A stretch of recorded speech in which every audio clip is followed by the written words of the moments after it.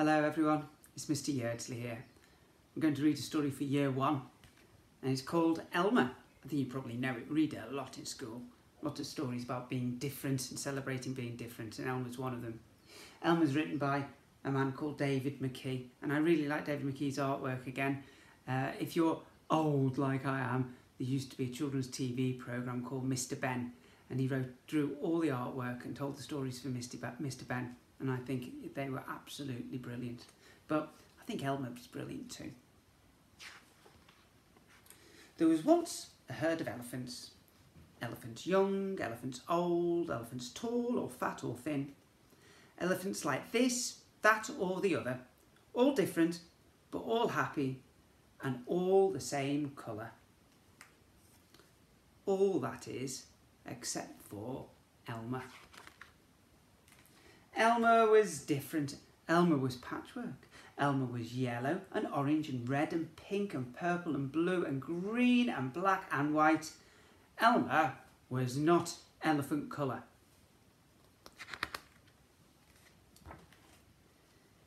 It was Elmer who kept the elephants happy. Sometimes he joked with the other elephants, sometimes they joked with him. But if there was even a little smile, it was usually Elmer who started it. What are they doing to him there?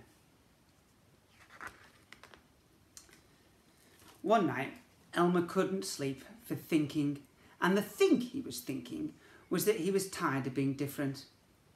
Whoever heard of a patchwork elephant, he thought. No wonder they laugh at me. In the morning, before the others were really awake, Elmer slipped quietly away, unnoticed. As he walked through the jungle, Elmer met other animals. They always said, Good morning, Elmer. Each time, Elmer smiled and said, Good morning.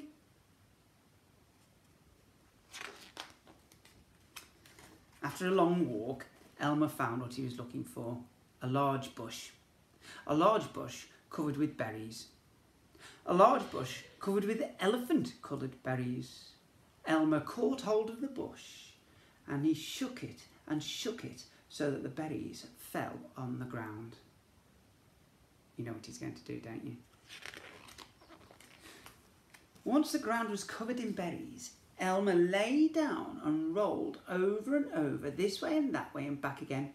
Then he picked up bunches of berries and rubbed himself all over, covering himself with berry juice until there wasn't a sign of any yellow or orange or red or pink or purple or blue or green or black or white.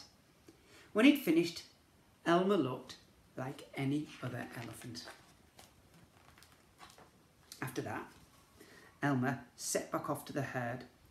On the way, he passed the other animals again. This time, each one said to him, Good morning, elephant.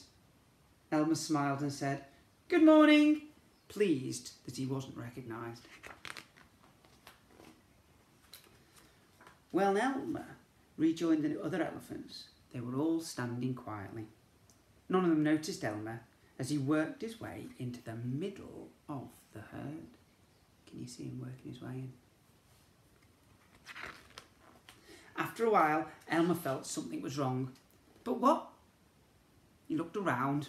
Same old jungle. Same old bright sky, same old rain cloud that came over from time to time, and lastly, same old elephants. Elmer looked at them. The elephants were standing absolutely still. Elmer had never seen them so serious before. The more he looked at the serious, silent, still standing elephants, the more he wanted to laugh and finally he could bear it no longer. He lifted his trunk and at the top of his voice shouted, Boo! The elephants jumped and fell, always in surprise. Oh my gosh and golly, they said. And then they saw Elmer helpless with laughter. Elmer, they said, it must be Elmer. Then the other elephants laughed too, as they'd never laughed before.